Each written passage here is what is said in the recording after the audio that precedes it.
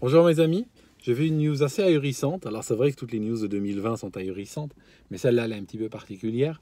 C'est Macron qui veut instaurer l'enseignement de l'arabe. Donc ça c'est le premier point, instauration de l'arabe. Il pense, il pense dans son fort intérieur que l'instauration de l'arabe ou l'enseignement de l'arabe va renforcer le sentiment républicain chez les jeunes issus de l'immigration, qu'elle va combler, qu'elle va aider à combler le fossé civilisationnel, le fossé culturel, le fossé ethnique qui existe en France. C'est je ne sais pas quel est son cheminement de réflexion. Je ne sais pas. Je suis incapable d'accéder à ce cheminement-là. J'essaye, je fais des efforts. Et puis, euh, autre chose, c'est la création d'une AOC, n'est-ce pas euh, Appellation d'origine contrôlée pour les imams. Donc, des imams formés en France. Alors, bon, euh, je vais vous dire un truc. Je vais vous dire un truc. Je, sais, je sais d'où il vient, Macron. Je, comprends un petit peu sa rationnel. Je vais vous dire un truc. Vous savez, le gros paradoxe, le grand paradoxe de l'islam, c'est quoi? C'est que, imaginons que je sois en Algérie, ou au Maroc, ou en Arabie Saoudite, imaginons que je sois saoudien, si vous voulez. Je veux ouvrir une mosquée en Arabie Saoudite. Bon, si je veux ouvrir une église, c'est non. Ça, ça, on le sait, ça, on le sait, tout le monde le sait. Par contre, l'erreur que certains peuvent faire, c'est croire que si je voulais ouvrir une mosquée, ce serait autorisé. Non, c'est pas si simple que cela. Si je voulais ouvrir une mosquée en Algérie, par exemple, eh ben, les autorités voudraient savoir qui je suis. Euh, c'est quoi euh, mon cheminement, c'est quoi mon discours, c'est quoi mes finances, d'où vient l'argent, qu'est-ce qu'on va dire dans cette mosquée, et puis euh, par qui elle sera fréquentée? Et au final, peut-être qu'on permettra de l'ouvrir, peut-être pas. Peut-être qu'on dira non, tu ne peux pas ouvrir ta mosquée. Parce qu'on te soupçonne de soutenir le terrorisme, on te soupçonne d'y tenir un discours séditieux.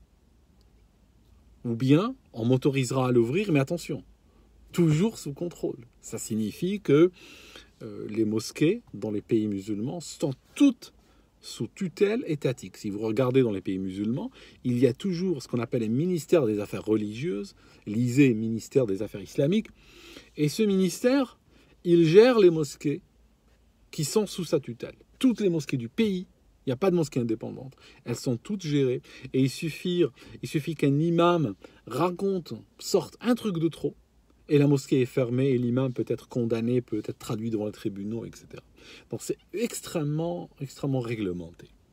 Si vous arrivez dans un pays comme la France, si je vais ouvrir une mosquée en France, imaginons que j'aille au Pakistan, j'achète des talibans, je fasse un tour de table et que j'obtienne de l'argent pour ouvrir une mosquée. J'arrive en France, je loue une salle ou j'achète une salle. Les autorités locales euh, n'ont pas de droit de regard sur ce que je vais y faire. La seule chose qui les intéresse, c'est, pareil en UK d'ailleurs, c'est euh, est-ce qu'il y a assez d'issues de secours? Est-ce qu'elles sont bien signalées? Est-ce qu'il y a des extincteurs? Est-ce que euh, j'ai des assurances pour recevoir le public? C'est tout. C'est tout ce qui leur, les importe, leur importe. Et puis finalement, si je coche toutes ces cases, je vais pouvoir ouvrir ma mosquée et raconter ce que je veux. Voilà. Donc, il y a une sorte de situation très paradoxale par rapport à l'islam, c'est qu'il est plus libre en France que dans les pays musulmans. Voilà le truc. Alors, un bobo parisien dira que les pays musulmans sont islamophobes qu'il contrôle l'islam, qu'il ne laisse pas l'islam libre de s'exprimer. Et la France veut faire mieux, veut aller plus loin, parce que voilà, la République, euh, tout ça, il faut... Oui, c'est... C'est terrible cette manière de penser. Parce que les pays musulmans, il faut savoir que ils connaissent l'islam, ils savent, ils savent apprécier ce qui leur apporte comme valeur positive, on va dire, mais ils savent aussi se prémunir des dangers qu'il peut représenter. Parce qu'il peut soudainement être utilisé pour soutenir une action djihadiste, pour soutenir des groupes terroristes, pour euh, euh, fracturer la, société, pour lancer les guerres religieuses. Et ça, c'est quelque chose que nous connaissons très bien dans les pays musulmans. Et c'est pour ça que nos autorités font très gaffe.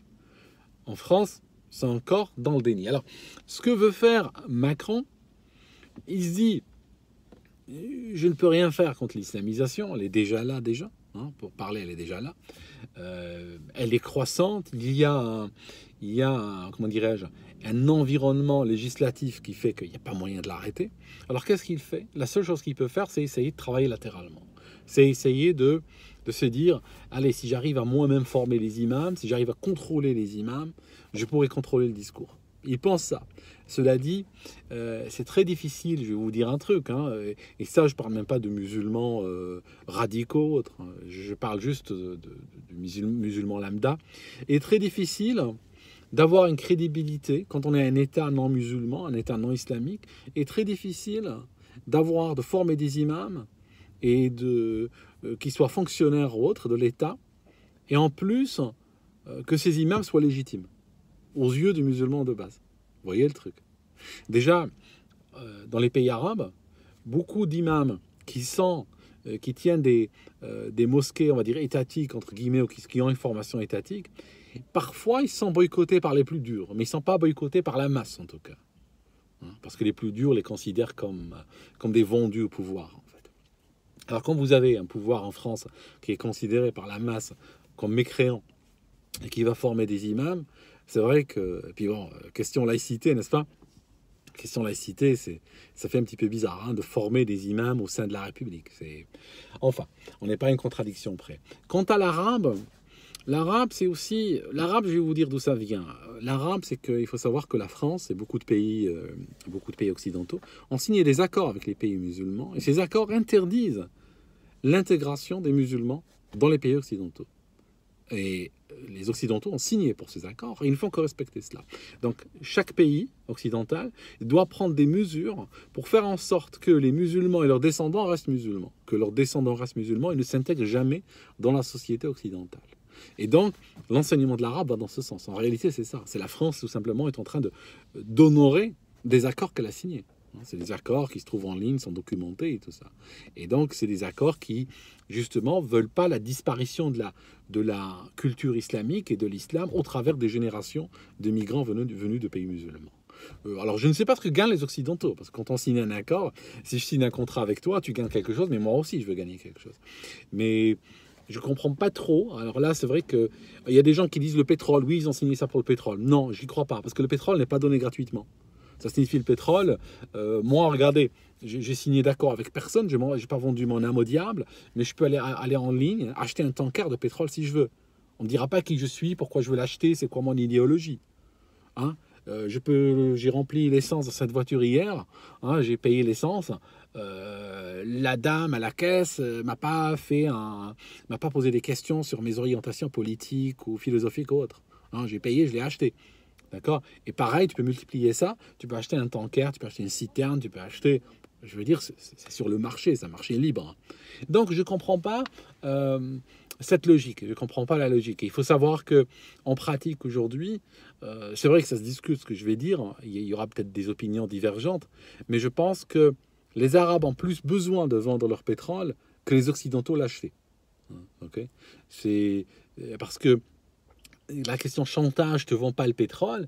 Oui, mais tu vas pas le boire, hein, le pétrole. Hein, parce qu'au bout d'un moment, c'est vrai que ça va devenir très difficile la vie. Parce que les pays arabes vivent beaucoup, pour beaucoup d'entre eux, euh, dans une logique de pétrole contre nourriture, hein, pratiquement. Hein, c'est caricature, mais c'est pratiquement ça. Ils vendent le pétrole et puis ils importent tout le reste. Donc, euh, c'est vrai que s'ils arrêtent de vendre le pétrole, ils peuvent toujours tenir quelques semaines, mais euh, sur le long terme, ce n'est pas, pas crédible de dire je te vends pas le pétrole.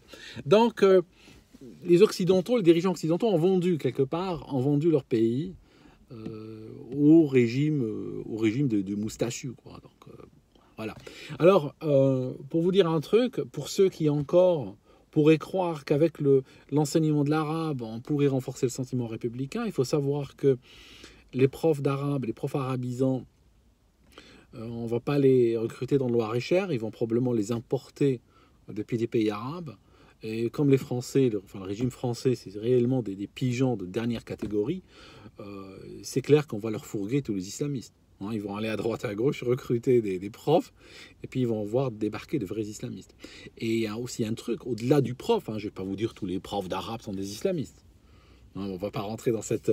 J'aime bien cette logique en France où toujours faut faire gaffe. Est-ce que attention, est-ce que tu as dit tout? Est-ce que tous les profs d'Arabes sont des islamistes. Toujours, quelle que soit la question qu'on pose en France, ça part toujours sur est-ce que c'est la totalité? C'est le 95% C'est le 70% C'est le 25% On sort complètement. Vous savez, je peux sortir de cette vidéo complètement. Regardez, je sors, je pars. Je pars, je fais un hors-sujet complet. Et je vais vous parler de pourcentage. Et on va discuter des pourcentages pendant des heures. Néanmoins, néanmoins, inéluctablement, à la fin de, cette histoire de pourcentage, on arrivera quand même à une masse critique de profs d'arabe qui sont islamisés jusqu'au trognon. Alors, euh, il suffit d'en avoir assez, on s'en fout complètement. Si tu en as un ou douze, juste t'en as assez, ce que je cherche à te dire. Alors, ces profs euh, ont étudié l'arabe sous l'angle islamique. L'islam a phagocyté l'arabe. L'arabe est pratiquement aujourd'hui, il n'y a pas l'arabe laïque, ça n'existe pas. L'arabe est une langue, et j'aime beaucoup l'arabe. Prenez-le de quelqu'un qui aime l'arabe. J'aime beaucoup la langue arabe.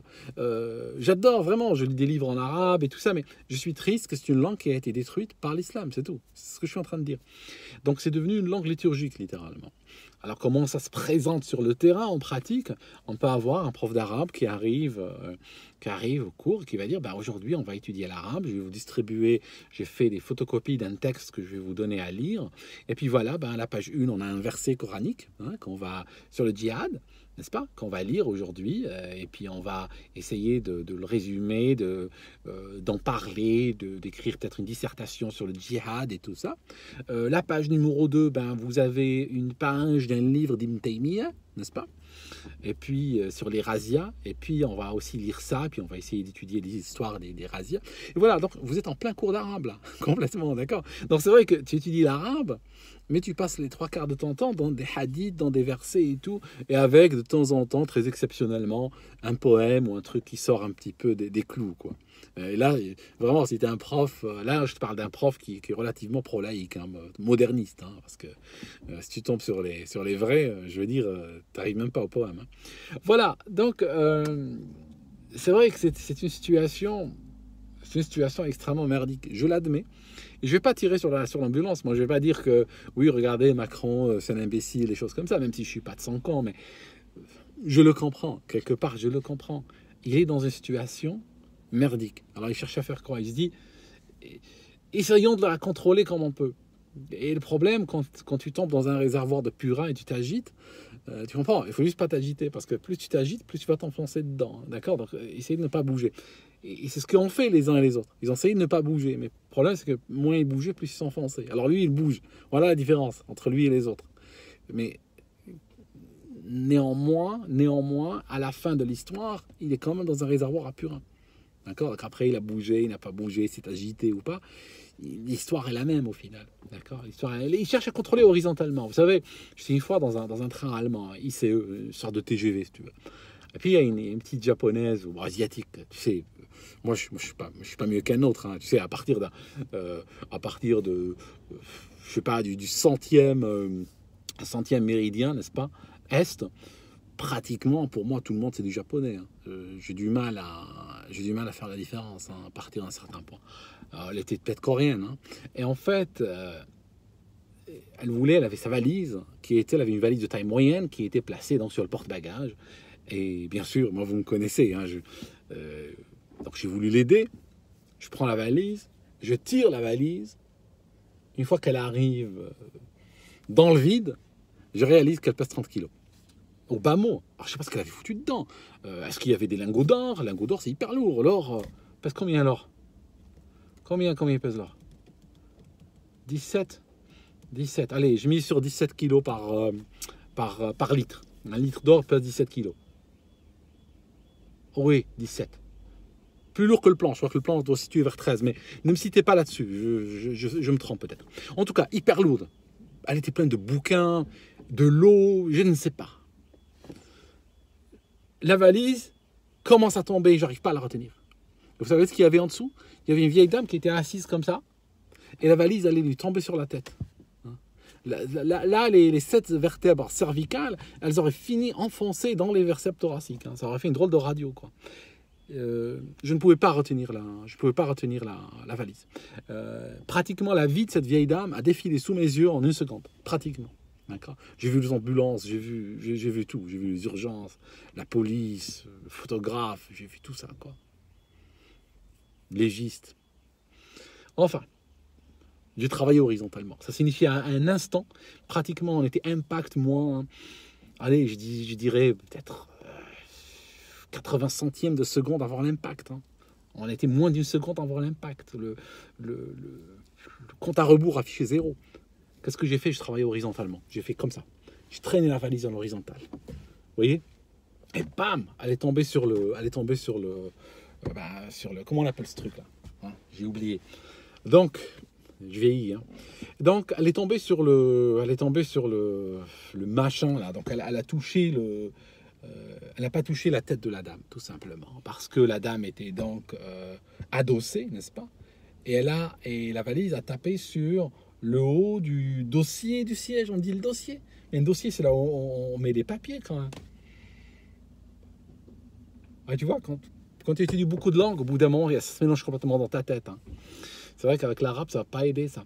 Alors, euh, je disais que, bam, je travaille dans des chantiers, tu comprends. Euh, tu peux avoir un objet d'une tonne qui est accroché dans le ciel comme ça par un câble, tu peux le pousser latéralement. Tu peux toujours le pousser latéralement. D'accord? Donc, c'est pas une valise de 30 ou 40 kilos qui allait m'empêcher de, la pousser latéralement, puis bam, sur le dossier du siège. Et puis, euh. Après, les gens m'ont aidé, on l'a posé par terre, mais tout le monde était étonné du poids de cette valise. Donc, de la masse de cette valise, tout du moins. Donc, en fait, vous voyez le truc? C'est ça, c'est que machin, euh, Macron, euh, cherche à travailler horizontalement. Parce qu'il ne peut pas travailler, il peut pas travailler sur un axe, il cherche à travailler sur, sur un autre. Au moins, il cherche à faire quelque chose. Il s'agite. Il s'agite dans la force pure, mais, mais je ne suis pas convaincu. Je ne suis pas convaincu que cela soit une, soit une solution valable. En tout cas, mes amis, merci d'avoir d'être restés jusque-là euh, dans cette vidéo qui parle dans tous les sens. et puis, je reviendrai une autre fois, je vous parlerai du, royaume vaccinatoire britannique. Ils pensent vacciner tout le monde d'ici, d'ici, euh, d'ici Pâques, ils disent. Ils vont tous nous vacciner et on sera mort. Euh, Noël 2021, on est tous morts. Hein. Noël 2021, euh, ça sera ville fantôme, ça sera opération, opération ville fantôme. On va tous mourir. Ils vont nous tuer. Ok, à bientôt mes amis, je vous laisse et je reviens une autre fois.